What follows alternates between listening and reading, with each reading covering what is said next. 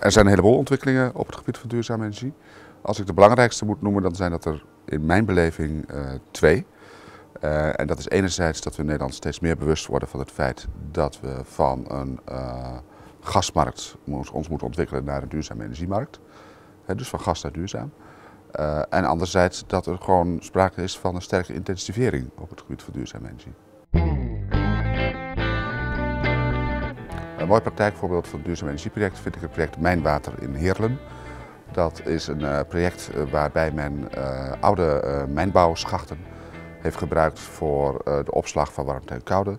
En waarbij zowel het een en ander een utiliteitsbouw als woningbouw wordt verwarmd en gekoeld met de warmte en de koude uit die oude mijnschachten.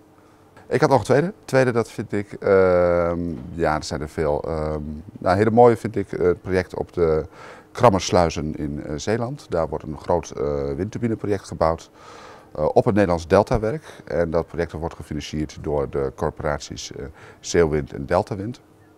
En dat zijn Zeeuwse bewoners en bedrijven die samen investeren in, in een grootschalig duurzaam energieproject op het Zeeuws Deltawerk.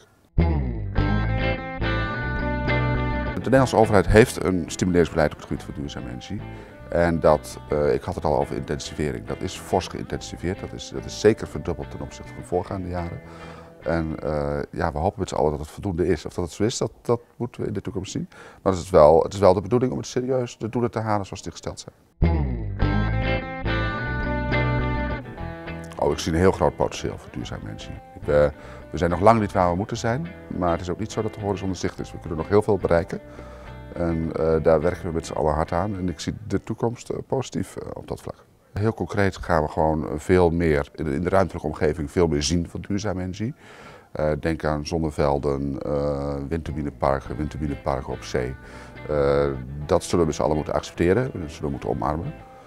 Um, ik denk dat het onvermijdelijk is.